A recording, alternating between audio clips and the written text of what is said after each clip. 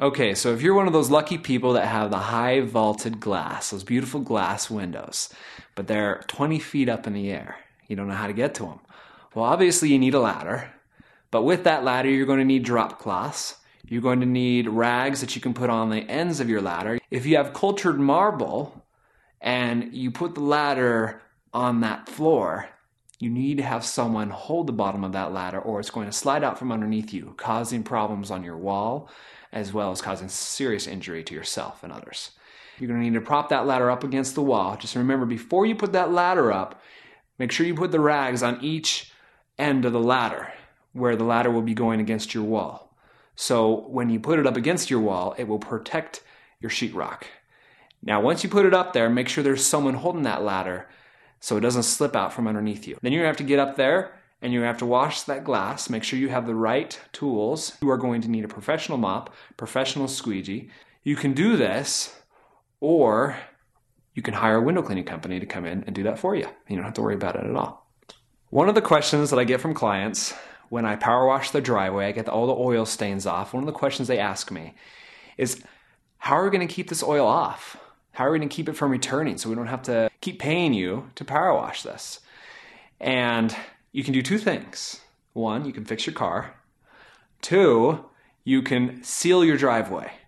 So after the power washing company has cleaned that driveway and the oil is gone, it looks nice, you want to keep it off. The way to do it is to seal it. You can either put a wet look sealant or a flat look sealant and ask the pressure washing company if they can provide this service. It's a very important prevention service that will keep it off for as much as five years. And it could cost between uh, 500 to 1,000, depending on the type of space and how, many, how much square footage that you actually have on it. So, one of the best ways to pick a window cleaning company is through customer reviews and ratings.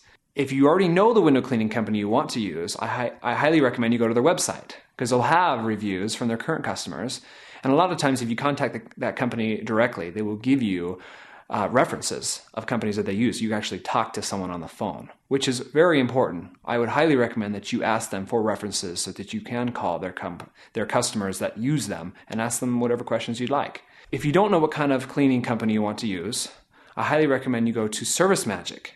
If you go to servicemagic.com and you'll be able to have many choices uh, from qualified companies. They will have many vendors in the field that you're looking for and the services that you're looking for, and they will have customer reviews and ratings, and you'll be able to see exactly what people are saying about them and make a decision on what type of company you would like to use.